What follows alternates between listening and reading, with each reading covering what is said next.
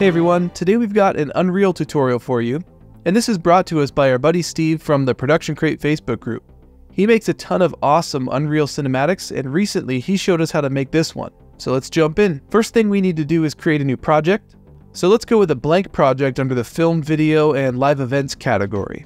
We don't need the starter content, but we do need ray tracing, so go ahead and tick that box. And don't forget to name your project and save it where you want it to go. Okay, here's our new scene. And while it loads and compiles the shaders, let's go load some plugins that we're going to need and change some settings. Go up to Edit, Project Settings, and at the top, search for Lumen. And make sure that the global illumination method is set to Lumen. Down in the rendering category, locate reflection capture resolution and change it from 2048 to 512. And use hardware ray tracing when available. And we can also turn on ray traced shadows. And here's a quick note, if you find that Unreal crashes a lot, you can try going to the left under Platform, Windows, and switching from DirectX 12 to DirectX 11. Now it's going to ask you to restart if you do that, but hold off for just a second because we want to load some plugins as well. Go up to Edit Plugins and search for Movie, and make sure that Movie Render Queue is activated. Now go ahead and restart Unreal. Okay, once you're back in Unreal Engine, it's time to import all of your assets. Start by going to productioncrate.com and search in the 3D Vehicles category the Crashed Cars pack right here is already set up for Unreal, so let's grab that first. Same with this post-apocalyptic cars pack down here, so get those two. And let's also get this Blackhawk crash site model. Over in the characters category, we need the sci-fi armor, but make sure you get the Unreal version, not the regular version. And in the weapons category, grab a couple rifles like this one here and this sniper rifle. Once you've got those unzipped, we need to get them into our project. Let's start with the ones that are already set up for Unreal Engine because those are easy. When you open these up, you'll see that there's an entire Unreal project folder set up, along with its own Unreal project file. The assets are in the content folder, and you could just copy the stuff that's inside the content folder over to your main project, but it's safer and more reliable to migrate them properly. So here's how we do that. First, go save your main project in Unreal, and then double click the project file for the post-apocalyptic cars pack and open that in whichever engine you're using. To improve performance, you can close down the main project while you wait. Okay, and once the Cars project opens, you'll see that everything you need is contained inside the content folder. For example, inside the meshes folder, you'll find all of the models. If you drag one out into the scene, it should have all of its materials and textures applied. So to get this into the main project, you want to find the post-apocalyptic cars folder and right-click on that and choose Migrate. It'll show you a list of the assets that are going to be transferred. Click OK, and then navigate to where you saved the main project and into the content folder. Click on select folder and it'll start to copy all of the car assets to your main project. Do that for the rest of the Unreal Ready projects. Some of them may not have project files, even though they are UE ready. And if you find one like that, just copy the entire folder into the content folder of your main project and it should be there the next time you open it. And repeat this process again for the sci-fi armor. Okay, for the assets that are not Unreal ready, we'll have to import them and set them up manually. So let's do it. So open up your main project and take a quick look just to make sure that the Unreal Ready assets are working. Nice. Okay, go up to File and create a new level. A basic level will work just fine. Now select the Content folder and then right-click to add a new folder and name it Helicopter.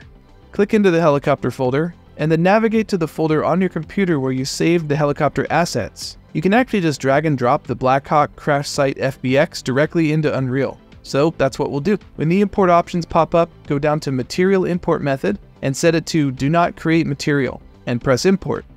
If the textures didn't get imported, go back to the folder on your computer and drag those in as well. In this case, the helicopter utilizes UDIMs, so you only need to select the first texture in each texture set. Those are the ones that end with 1001. Unreal should automatically find the others. Okay, right click and create a new material, and don't forget to give it a good name like M for material underscore heli. Open up that material and drop all of the textures into the node graph. And now we just need to connect up all of our textures. If you're not sure which textures are which, just click on one and you can see the name of it right here. So now just plug the textures into their respective channels. If you've never used Unreal before and this is going over your head, we do have a basic intro video that goes into more detail on how to import and set up 3D assets. So be sure to check that out if you need it. The link will be down in the description. Okay, when you're all done, don't forget to save the material. To apply the material, select the model and look for the Element 0 slot under Materials. If you select the Heli material in the content browser, you can click this little arrow to apply it to that slot. And actually, let's double click on the helicopter mesh in the content browser to open it up. Notice that the material is not applied in this window. So let's plug in that material here as well so that it's always applied by default whenever we drag a new copy of the helicopter into our scene. Alright, looking good. Okay, let's go up to File, choose Files to save, and we can unclick this level because it's just a temporary working area. And now press Save Selected Assets. Alright, let's repeat that process for the other assets. Right click in the Content folder, and create a couple new folders for the gun assets, so Gun 1 and Gun 2. Now, if you navigate to the first rifle on your hard drive and you look in the folder, you'll see it only contains an OBJ, no FBX. So this is an older file that was never set up for Unreal Engine, but don't worry, it's an easy fix. Open up a 3D modeling program. Blender is free, so it's probably the easiest. And then go to File, Import, Wavefront OBJ, and then go find the rifle OBJ. Okay, now go to File, Export, and export as FBX, and just drop it in the same folder. And repeat that process for any other OBJs that you plan to use, but remember if it comes with an FBX, that's not necessary, it's already all set to go. Back in Unreal, drag the first gun FBX into the Gun 1 folder, when the import options pop up, don't just close the window because we want to make some changes here. The main thing is that it's made up of a ton of little parts and we want to tell it to import as one piece. So to fix that, go to Mesh, Advanced, and turn on Combine Meshes. Now press Import and drag it into your scene. You'll notice that it's huge, so come over here to the scale settings and type in something like 0.001. Alright, cool, that's much better. Now we can import the textures, create a new material, and plug the textures in just like we did with the helicopter. And of course, repeat the process again for the other gun, and any other assets that you want to use. Alright, now we need to find some scenery. For that, we're going to grab some free assets on the marketplace from Epic Games and Megascans. Go up to this little cube with a plus sign and choose Unreal Marketplace. Now the links for the following assets will be down in the description of this video so you don't have to hunt for them, but we're going to use this free bridge scene. Once you buy it for $0, click on Add to Project and select your main project from the list. And let's do the same for these Megascan trees, those are pretty cool. Again, link in the description. Now when you go back to Unreal, you should see the bridge and the trees are in your content browser. If you dig through the folders, you'll find some really useful assets. Okay, we're almost done setting up, but let's just grab a few more things from Quixel Bridge. Go up to that cube with the plus sign button again, and this time choose Quixel Bridge. Now this is free, but you may have to sign up for it with your Epic Games account. Once you're logged in, search for barrier, and grab whichever one looks best for you. We're going to go with this old concrete barrier. So select it, and then choose the quality that you want. We recommend Nanite if you're using Unreal 5, now click on the download button in the bottom right and wait for it to process. Once it's done, you can click on this little blue arrow and choose Export Nanite. You can double check that you have the file by clicking on Local over here on the left, and these are all the files that you've downloaded. Now let's search for some grass, and click on 3D Plants and you'll see a huge amount of options for you to use. Pick whichever one feels right for your scene, we're going to go with this one. Click on the green arrow to download, and again, feel free to grab whatever you want to include in your scene. There's no need to copy exactly what we're doing. Now, once again, you should see a bunch of new assets in your content folder. And let's just drag the barrier out into the scene to admire it. And the plants look pretty great too. Okay, and with that, we're finally all set to start building up our scene. To get started, go into the folder for that automotive bridge scene, and then in the maps folder, find the one called bridge underscore p. To make sure we don't mess up the original, let's duplicate it. Now double click to open and it'll ask you to save, go ahead and do that. And now we have a really nice scene to start with. Quick note though, you'll notice all these little icons on the ground. Those are damage decals which you can move around if you want. But all of those icons sometimes get in the way, so press the hotkey G to toggle them off for now. You can always press G again to bring the icons back, which is very helpful when you need to edit your lighting. Speaking of lighting, the scene comes with some lighting already, but let's get rid of it and set up our own just so we know how to do it for ourselves in the future. Find the directional light in the outliner and delete it. Same thing with the exponential height fog and the post-process volume. This isn't really light, but let's get rid of it anyway and we'll make our own later. And lastly, scroll all the way down to the bottom and delete the HDRI backdrop. And now it's completely black, so let's learn how to rebuild the lighting from scratch. It's super easy. To begin, go up to Window and open the Environment Light Mixer, and first click to add an exponential height fog. At the bottom, set it to volumetric fog. Now create a skylight, and this is the sky dome itself. Next, click Atmosphere Light and also Sky Atmosphere, and lastly, Volumetric Clouds. Basically, just click all the buttons. If you want to change the light angle, hold down Ctrl and L and move your mouse around. You'll notice that it actually changes the color and the time of day if you lower the angle, which is really cool. If you go up to the directional light and go into the details panel, There are tons and tons of other options as well. Okay, let's compose our scene. It's usually easier to start with the bigger centerpiece assets and work your way down. The focus in this scene is the helicopter and it's the biggest piece, so let's start with that. I'm going to drop it in, and to rotate it, the hotkey is E. If the model's snapping and you don't want it to, go up to the top right and you'll see all the snapping options for move, rotate, and scale. You can turn these on for exact movements or off for finer adjustments. Okay, this is looking pretty cool so far, so let's bring in some of those barriers now. And those can be found in the Megascans folder, 3D assets, and old concrete barriers. Drop it in the scene and press E again to rotate it into place. To quickly duplicate the model, press W to switch to move mode and hold down Alt while you drag it. Don't worry too much about perfecting the placement of everything yet. We just want to get all the elements in the scene and then we can fine tune the composition later. Okay, let's grab some cars, pick whichever ones you like best, but we're going to use Car 6 from the Post-Apocalyptic Cars folder. Keep in mind that some of these cars have options that you can change like paint color. In this case, if you go to the Materials folder, you'll find a second material without graffiti that you can drag and drop onto the model. But I like the graffiti. Let's do some rough composition and placement here. Okay, looking good. Now let's go find another car from the other pack.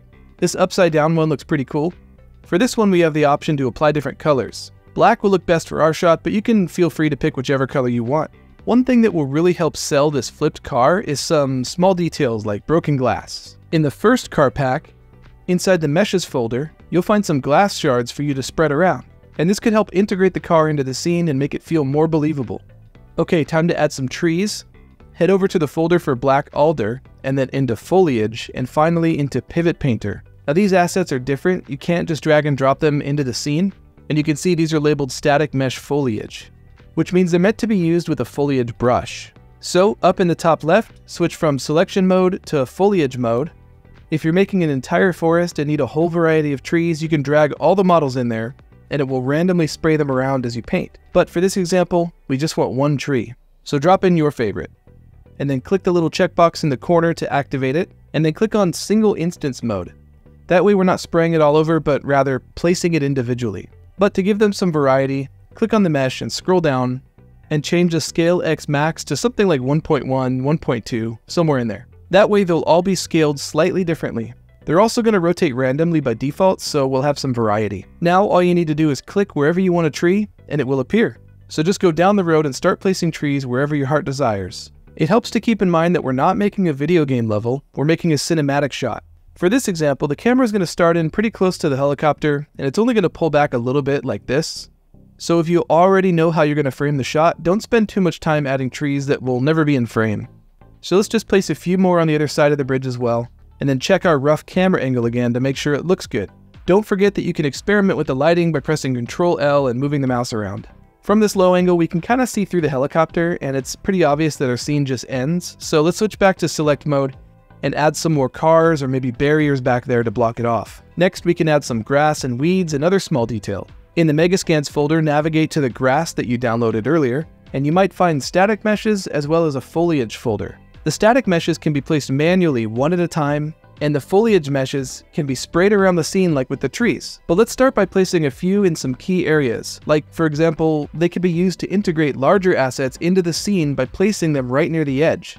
In real life, objects are not sharply separated from each other in our vision, so placing debris and grass and cobwebs and things like that at the base of objects can help break up the sharp rigid lines in the composition. Since we've placed a few key pieces of grass, we can use the foliage system now to quickly spray in some filler. So go into the foliage folder, and then switch to foliage mode and drag a bunch of these grass assets into the foliage brush. Notice that the tree is still in there, so click the checkbox to deactivate it, and then activate all the grass meshes. Don't forget to change the max scale a bit so that you can get more variation. And also this time we don't want single instance mode to be active because we want to spray these things around. If your brush is too big or too small, you can adjust the brush size in the options along with the paint density. And now just click around the scene to quickly apply a bunch of grass and weeds. If you go a bit too crazy, or if the grass ends up where it shouldn't be, you can switch to the erase brush to remove some of it. If you downloaded other foliage like weeds or flowers or bushes, take some time to place those now to break up the uniformity of the grass. Okay, now it's time to get our characters set up and animated. The Sci-Fi Soldier is set up to work with the Unreal 4 skeleton, so if you have some soldier animations from the Unreal Marketplace already, then they should work just fine. but they're not usually free. So if you want to use the free Mixamo animations, we'll need to do a little bit of setup. Really quickly though, let's talk about an important concept when it comes to character animation. To demonstrate, I'm going to use this Murdock character from the Unreal Marketplace. And there's no need to follow along with this part, we're just going to try to illustrate a point. If I make an animation sequence with this character, you can see that the animations are all in place, as if he's walking on a treadmill. This is good for video games, but if we're going to try to make a cinematic, it creates extra work for us. We would need to keyframe him moving forward, and it's really difficult to get the speed just right so that his feet aren't sliding. So we'll keep that in mind as we're looking for animations in Mixamo. We don't want to accidentally download in-place animations.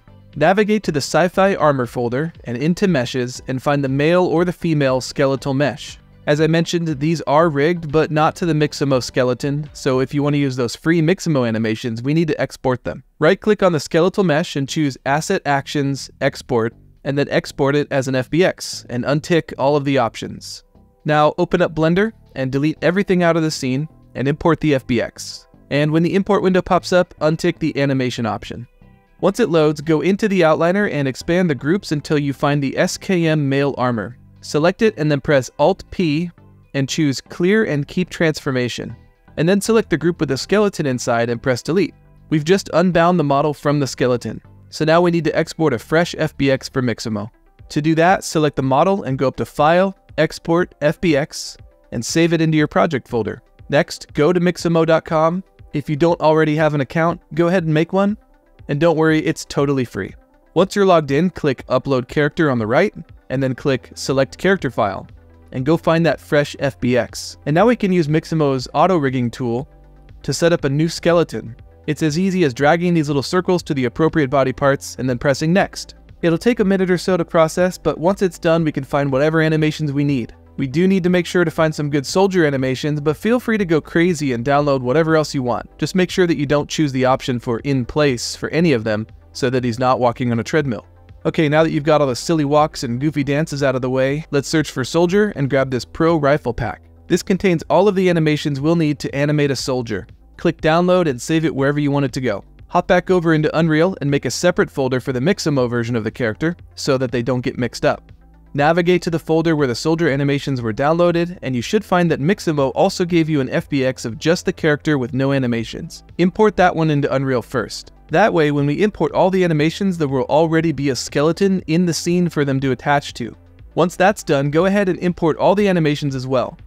To test them out, drop a few of them into the scene and press play. Awesome! To start stringing these together into longer animation sequences, go up to the button at the top that looks like a film slate and add a new level sequence. Drag and drop the character into the sequence window, and at the top right of this little window, we can set the duration in frames. So if we want a 10 second clip, and it's 24 frames per second, we would want 240 frames. But if you add a little more, it gives you some more room to edit, so let's go with uh, 350. Now notice the animation track below the character. Click on the plus sign and you can pick an animation from the list, as long as it's associated with this character skeleton. For now, let's keep it pretty simple and just grab a quick walking forward animation. If we press play, we can see that he walks through the animation cycle, but then he goes back to the T-pose. You might be tempted to drag out the end of the clip to be longer like this, but now the problem is that he jumps back to the origin point after each cycle. So here's how we fix that. These Mixamo animations and other similar looping animations are designed to be seamless, so we can alt drag the animation clip to duplicate it and drag it to the end of the first loop. Now scrub the playhead so that it's on top of the second clip, and then right click on it and turn off Match Yaw Rotation.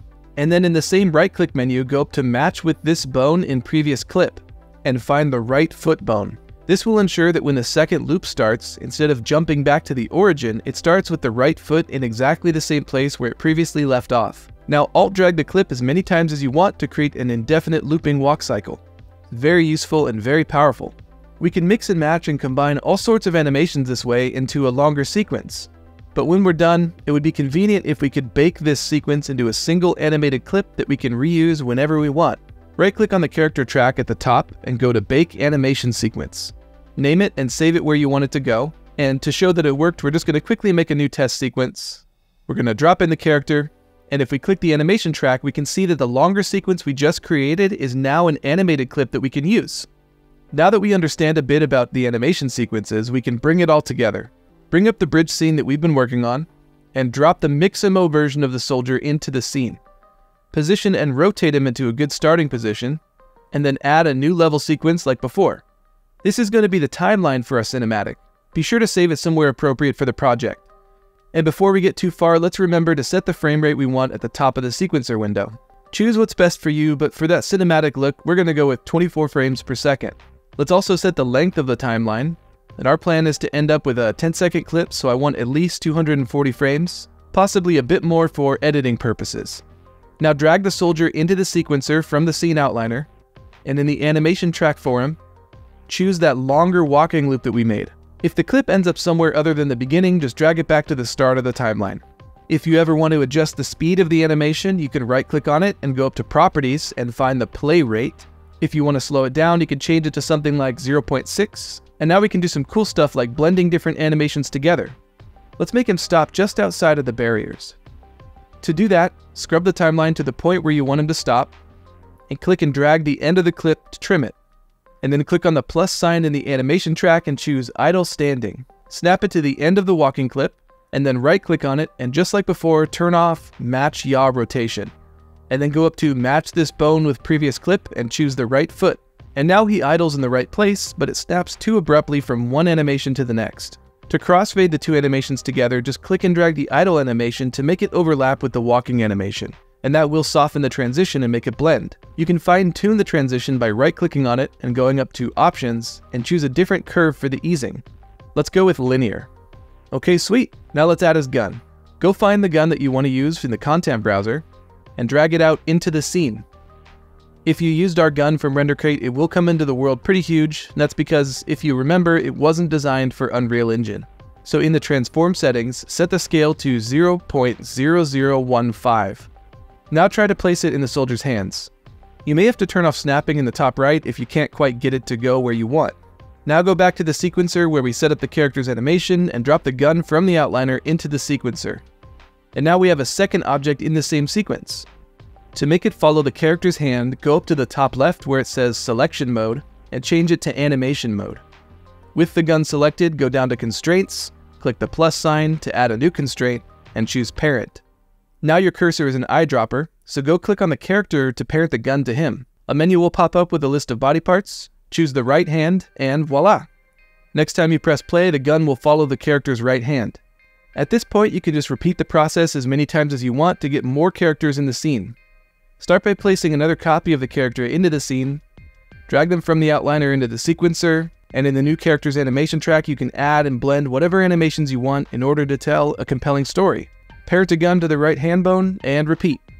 Oh, and a quick note about level sequences. The next time you open your project, if the characters aren't animating, go up to where you created a level sequence earlier and load the existing sequence. And now it's time to set up our camera and render. Click on that little cube in the top right, go down to the cinematic category, and add a new Cine Camera Actor. And then find the Cine Camera Actor in the outliner and right click on it, and snap Object to View. Now the cinematic camera is aligned with the viewport view.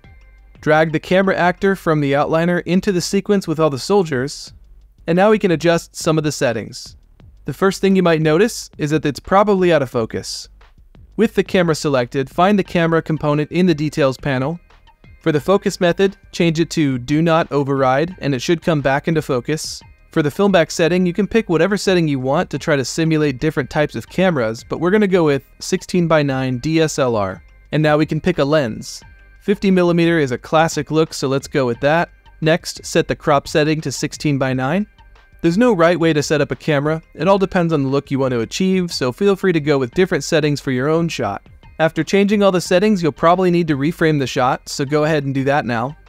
You might also find that you want to recompose the scene a little bit, now that the camera and the lens are set up, we can see that the cars might not end up in frame, or maybe they're covering up your characters, so take some time to adjust the composition if necessary. The next step is to animate the camera movement. It helps to practice the camera movement before you start animating, so run through the sequence and try to figure out where the camera's going, where it's going to start, where it's going to end, and how it's going to move through the scene. When you're ready, find the Cine Camera actor in the sequencer, and find the transform track inside. To add a keyframe, click this little circle icon here. And we're actually keyframing at the end first because we already found the final angle that we like. So now we'll scrub back to the beginning of the timeline, and then move the camera into a good starting position, and then click Add another keyframe. Don't forget that you can also keyframe the rotation of the camera too, it's not just about the location. So open up the transform track, and then go into rotation and change the roll setting by a few degrees. And don't forget to click to update the keyframe. And now when you press play, you should see your awesome animation. If you need to make adjustments, like to the speed of the camera, you can just select the keyframes and move them to the left and the camera will go faster. And you can always add more keyframes to create more complex camera movements. Like, let's zoom back into this guy's face at the end, for example. Okay, awesome. We can also keyframe other camera settings beyond just transform. Let's keyframe focus and depth of field. Back in the camera component on the Cine Camera Actor, change the focus settings back to manual, and next fiddle with the manual focus distance to get him in focus.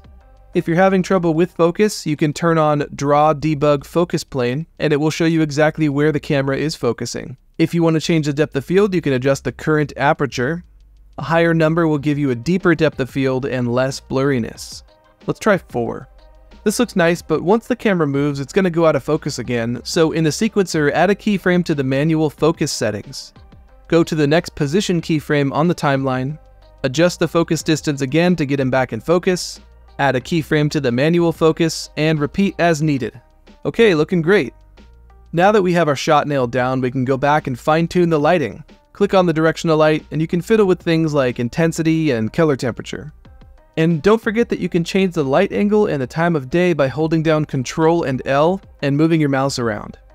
It's up to you if you want a bright daylight shot or something more dramatic. To further fine tune the look of the lighting, let's click on the exponential height fog and bring up the fog intensity to add some extra haze. Next, we can adjust some of the post-processing effects by going up to the little cube with the plus sign, going down to visual effects, and adding a post-process volume. This thing comes with a ton of extra options to help you get exactly the look you want, like bloom, exposure, chromatic aberration, and so on. Let's add some lens flare. If you don't see any results, it could just have to do with the angle of the light source to the camera, or you may also need to adjust the intensity, so crank that up. But remember to check the entire animation since we have a moving camera. If the lens flare looks good from one angle, it might not look good from another. In this case, the lens flare gets a little too crazy at the end, so we can bring that intensity back down. Once we're happy with the shot, it's time to think about rendering. In the sequence window, click on the little film slate button, and that will open up the movie render queue. In the settings column, click on unsaved config to open up the render settings window. There are tons of ways to set this up depending on your needs, so go with the settings that best fit your project, but in this example, we don't want to export a JPEG sequence, so let's delete that, and click the little green plus to add settings. And choose anti-aliasing. Change the temporal sample count to 16, and click override anti-aliasing so that it uses these settings when it renders instead of the default ones. Next, add a new setting and choose EXR sequence.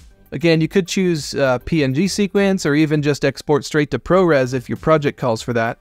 Next, add color output and disable the tone curve. And now add game overrides. And lastly, let's add console variables. These allow you to use scripts to override some of the default engine settings to get a better, more cinematic quality. Click on the little plus sign next to the console variables to add a new variable and type r.depth of field quality as one word and change that to 5.